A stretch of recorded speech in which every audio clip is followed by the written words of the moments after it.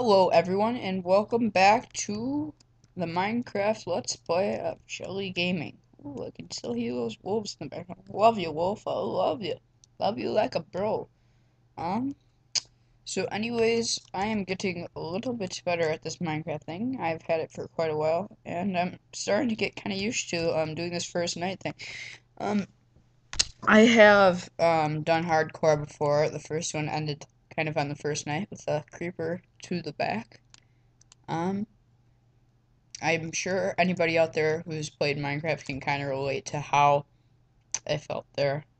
Just utter heartache. I mean, I just couldn't handle it. It felt it felt so bad. It was like breaking up with a girlfriend. Except I didn't. I wouldn't know what that's like. Sadness. So, anyways, about girls. Um, does anybody out there have girl problems? Because I certainly do. Um, as you can imagine, teenage life isn't all it's cracked up to be. Um, excuse me, need to make these sticks first. Um, so if anybody out there has had a girlfriend or has hit on a girl that they really liked, um, and was led to believe that, um, she liked them. Um, I know exactly how you feel because that has happened to me. Um, this one girl in our class liked me, or at least she said she did. I asked her out after school, she said yes, and as you can imagine, um, about, I don't know, like an hour later, um, after I was done with my basketball practice, um, I got a message from her saying that she really didn't like me, um, and that she was distracted, so I was kind of upset, you know. But here's the thing, you can't you can't hold any of that against girls, and I learned the hard way that um girls have a lot on their minds, um, usually more than us guys do. Um, you can't really hold them accountable for anything. Um, because you know they're girls. Um, we have to be nice to girls because um that's what God wants us to do. Um, I shouldn't really be bringing God or anything into this, but I'm just gonna tell you right off the bat that I am a pretty hardcore Christian, I guess. Um, and so I might say something random about God. Um, I apologize if you don't agree with my beliefs, and I annoy the heck out of you. Um, so I will try to keep that on my YouTube videos, though that might be a little bit hard. Um. Um, my friends and I wanted to make this channel after we saw other um channels of kids about our age, and they had quite a bit of views, and we are like, we were pretty impressed with them, and we thought, well, maybe we can do this too. I mean, it looks hard, but um, we thought we could pull it off, and it seems um we finally just got down to doing it, and here we are. Um, we should have about um ten uploads at the end of this day, which is a pretty solid start if you ask me. Um, Again, that's if you ask me, and not many people are going to ask me, so my opinion doesn't really matter. Um, yeah, I can still hear those wolves, and I'm just itching to rape a skeleton and get that wolf. I just want that wolf so bad. Mm-mm. Oh, come on, stupid lag. Why are you placing multiple charges? Son of a gun.